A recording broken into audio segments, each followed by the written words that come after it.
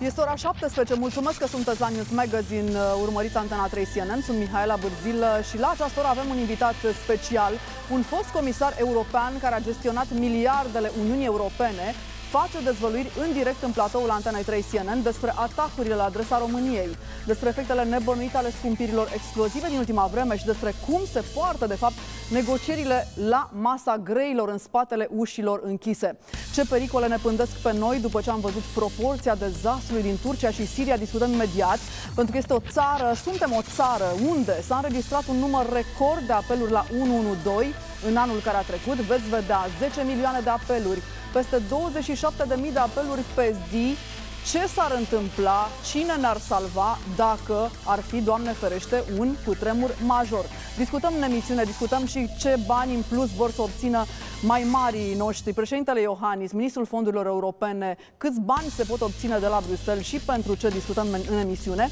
Și vă prezint chiar acum pe invitata mea, Corina Crețu, europarlamentar, fost comisar european. Mulțumesc foarte mult pentru prezență. Bună seara și mulțumesc pentru invitație. Avem niște imagini de ultimă oră, discutăm și despre pericolele pentru sănătatea noastră, pentru că doamna Crețu a, se luptă cu cancerul. Ne-ați dezvăluit în urmă cu câteva luni și mă bucur că ați înfruntat boala și că ne împărtășiți din experiența dumneavoastră pentru ca tot mai multe românce să meargă la un control preventiv. Da, din păcate anul trecut a fost un an greu pentru mine, absolut întâmplător. Am aflat că am o tumoare, din fericire era în stadiu incipient și mi-am dat seama că noi de foarte multe ori și probabil și dumneavoastră milităm pentru ca femeile să meargă să facă screening. Screening înseamnă de fapt depistarea bolii în stadiu în care mai poate fi curabil. Cu, cu, și eu nu mă mai consider un om cu cancer, sunt uh, tumoarea s-a scos, mi s-au scos trei ganglioni, dar uh, vorbesc ca pacient din experiența personală și mi-am, uh, mi-am propus uh, simt nevoia să fac tot ce pot pentru ca femeile din România să pună sănătatea pe primul loc. Femeile au foarte multe probleme și duc greul familiilor și, din păcate, s-a văzut uh, din toate studiile că mai puțin de 5% din femei se duc voluntar Uh, la aceste screening-uri care sunt de foarte multe ori uh, gratuite. Deci, comisia... Ați descoperit, uh, ați primit de fapt acest diagnostic la 50 și cât de ani? 55. 55 de ani, mulți înainte cu sănătate. Am văzut că v-ați făcut cruce înainte de emisiune, așa cum și eu am spus, Doamne ajută și discutăm imediat cât de importantă este uh, starea de spirit, uh, puterea interioară pe care ți-o alimentezi pentru a lupta cu o astfel de boală. Continuăm discuția, este o discuție extrem de importantă pentru toate doamnele care se uită acum la noi și pentru domnii care, uh, nu-i așa, au grijă de partenere de viață, de surori, de mame, de bunici, uh, de mătuși și trebuie să meargă la un control pentru a putea învinge o boală, um, un diagnostic care nu mai este nemilos în România, trebuie să știți astăzi, asta. Uh, aș vrea să mergem mai întâi să vedem imaginile momentului uh, cu permisiunea dumneavoastră. Este un incendiu puternic în acest moment în capitală, un loc de joacă a fost cuprins de flăcări. Vedem imaginile chiar acum. Pompierii încearcă să lichideze focul.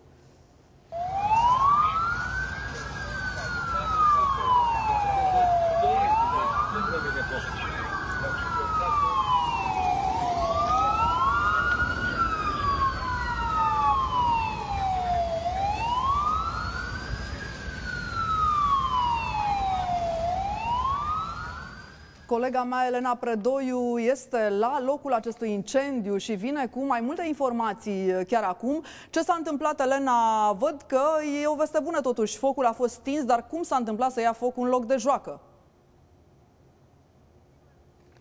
Bun găsit, Mihaela, bun găsit, doamnelor și domnilor. Într-adevăr, nu a fost o misiune foarte grea pentru pompieri, pentru că l-au localizat foarte repede și au reușit să stingă, însă nu se cunoaște exact cauza pentru care a luat foc acest părculeț de copii. Vreau să vă spun că în aer se simte miros de benzină și mai sunt alte, uh, alți oameni care spun că e posibil să fi dat cineva cu pe petarde în zonă. Este vorba despre 100 de metri pătrați uh, afectați. Uh, au intervenit uh, pompierii cu mai multe echipaje.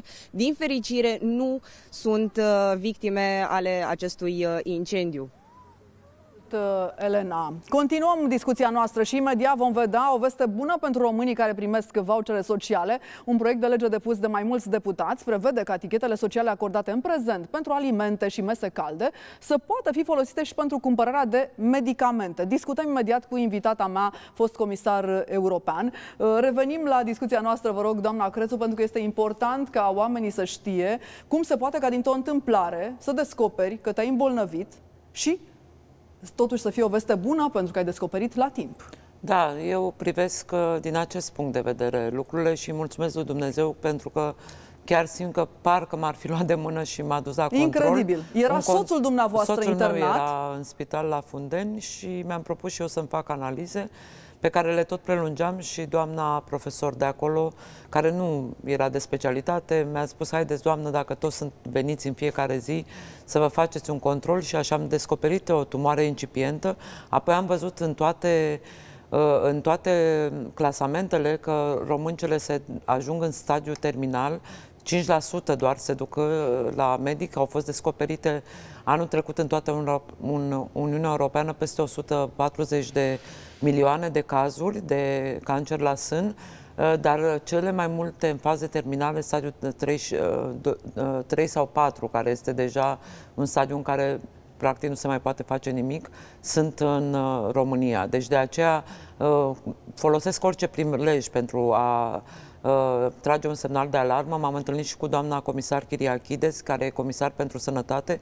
Uh, comisia are un plan ambițios. Ideea e ca rom- româncele, ele să se mobilizeze, pentru că, uh, în primul rând, această mobilizare și apoi, dacă, Doamne ferește, se întâmplă ceva, starea psihică face uh, diferența între uh, abandonarea luptei sau câștigarea ei. Sau este, este foarte important. Eu mă consider un om sănătos. Acum am fost la ultimele analize pentru că am operat în iulie anul trecut și am vorbit uh, de-abia la finalul radioterapiei. N-am avut nevoie de chimioterapie.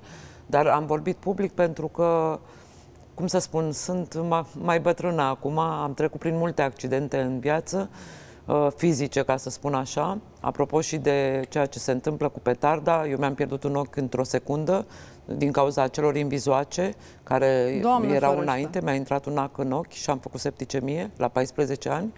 Deci, din acest punct de vedere, cred că trebuie să avem mult mai multă grijă de noi și de cei din jurul nostru, pentru că cel care m-a lovit atunci spunea că a vrut să mă lovească la picioare, eram în clasa noua. Uh, și iată că cumva am fost marcată pe viață, dar am avut puterea și anturajul și familia care m-a ajutat să merg mai departe. La 14 ani se întâmpla asta, v-ați pierdut atunci no, 1981, un ochi. Da. Uh, în acele vremuri, uh, cât am de greu era? și septicemie, incredibil. Și părinții mei, pentru că am stat cu un ac în ochi 12 ore, până s-a încumetat cineva să intre să-l scoată. Și a cerut vreodată iertare cel nu care v-a făcut asta? Nu, când m-am reîntors la Lazar, el se mutase. Nu l-am cunoscut în viața mea. S-a întâmplat uh, la un liceu, la, liceu bun, Lazar, la cel mai bun liceu din la țară, La liceul nu? Lazar, în, sâmbătă seara, între 6 și 7, se învăța pe atunci sâmbătă, în pauza dintre 6 și 7, mă duceam la o altă colegă, în altă clasă, deci nici măcar nu mi era coleg de clasă și nu-l cunoșteam. Incredibil. Țin minte că și pe vremea când eu eram în școală... Slavă Domnului că acum nu mai există... Aruncau cu tot felul de cornete, da, era cu un cornet cu un lac de Așa, cămălie exact. întors. Un, un cornet cu lac de cămălie întors. Incredibil. Da, care a, mi-a venit pe lângă ochi, s-a rămas la jumătatea ochiului și mi-a spart ochiul din fund în spate și a trebuit, m-am dus la municipal, mi-a făcut antitetanos, Apoi la Spitalul de Ochi era un rezident, un domn care e acum profesor, dar la vremea aia a așteptat să vină directorul spitalului. A doua zi am văzut foarte bine, dar pe la prânz deja mi se înverzise ochiul și părinții mei au avut de ales între am scoate ochiul sau a rămâne în viață. Doamne ferește, bine că ați reușit să depășiți acest accident foarte grav petrecut pe vremea copilăriei. Nu m-aș fi gândit să vă Uh, răscolesc aceste amintiri din acele vremuri, dar dacă cineva are de învățat ceva dintr-o astfel de experiență traumatizantă, ar fi uh, extrem Vorbesc de util. despre asta că am văzut cu petardele, deci da. nu ne putem juca cu viața oamenilor și a, dacă ne permitem să ne jucăm cu a noastră, cu a altora, eu cred că trebuie să fim puțin mai precauți. Atrag atenția medicii oftalmologi de fiecare dată când vin sărbătorii. Atenție la petarde, atenție că nu e de glumit, atenție că manevrate necorespunzător uh, pot fi uh, mortale sau te pot lăsa cu sechele În pe fiecare viață. an, uh, spitalele sunt pline cu accidentări și așa mai departe. Dumneavoastră ați depășit acest obstacol major atunci când aveați 14 ani și ați reușit să ajungeți într-o funcție în care mulți români n-ar visa vreodată, comisar european, ați stat la masa greilor și vedem imediat cum se iau uh, deciziile la masa greilor, cum sunt văzuți românii într-o astfel de funcție, dacă sunt luați în serios cu adevărat, cum ați simțit? În primul rând, eu am făcut parte din uh, Comisia Juncker între 2014 și 2019. Eu am simțit uh, că am avut tot sprijinul Comisiei. Uh, după cum știți, din păcate, am fost exclusă din PSD pe, tocmai pentru că presam asupra realizării unor investiții masive cum ar, și importante, pentru că mi se părea puțin deplasat să se fărâmițeze fondurile europene doar pentru a satisface primarii. Am vrut să facem lucruri mari ca spitale regionale de la Cluj, și Craiova, care au fost cuprinse în programul operațional 2014-2020. După aceea, guvernul în 2018 a cerut să fie mutată construirea acestora pe 2021-2027, dar nu există nicio groapă săpată până acum. Nu, toate, ă, tot ceea ce ținea de Bruxelles în privința acestor trei spitale regionale s-a realizat, adică amplasamentele, studiile de fezabilitate, finanțarea a fost livrată uh, Pune piedică României. cineva României nu, sau singur Guvernul României trebuie să uh, organizeze licitațiile.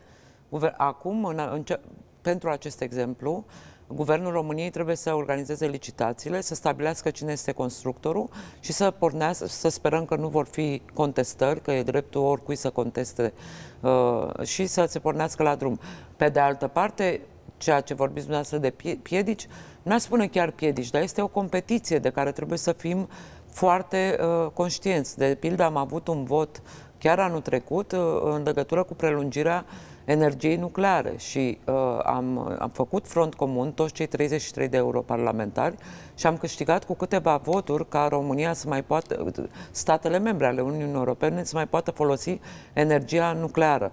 Deci, din acest punct de vedere, este o competiție pentru că țările Uniunii Europene, cele 27 de țări, au nevoi diferite și interese dif- diferite și cu cât se apropie alegerile, mai ales interne în statele respective, cum pățim acum cu Schengen-ul, uh, cu atât mai mult uh, intervin uh, chestiuni neobiective, subiective. Deci niciodată nu s-a pus problema migrației în legătură cu Schengen. România a demonstrat, demonstrează și acum, de un an de zile, în fiecare an, că, își poate, că poate proteja granițele externe, pentru că granițele externe ale Uniunii Europene sunt apărate de noi, de, de state non-Schengen, ca România și Bulgaria, bineînțeles și de Polonia uh, și de Grecia uh, și ar fi în beneficiu tuturor. Numai că da, domnul cancelar are aceste alegeri și are în coastă FPU, care este un partid uh, al, mult mai extremist, atunci a adoptat acest ton și a venit cu, în primul rând cu cifre false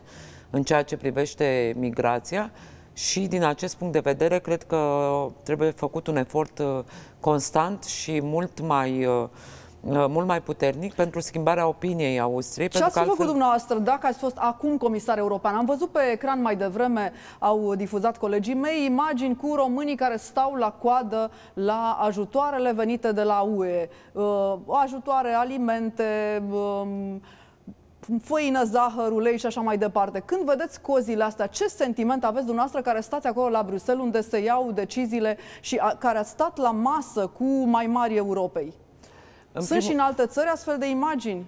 În primul rând, uh, într-adevăr, uh, uh, ne confruntăm cu o situație din punct de vedere militar, geopolitic, cea mai gravă de după al doilea război mondial, avem această explozie a prețurilor. Știți foarte bine că am adoptat în Parlamentul European uh, acea directivă ca uh, toate companiile să uh, plătească acea taxă de solidaritate pentru a ajuta guvernele să ajute ca la rândul lor acea taxă să ajungă uh, în, în ajutorul oamenilor pentru a putea fa- să față prețurilor uh, explozive la energie, care sunt însoțite de prețuri uh, la alimente și așa mai departe.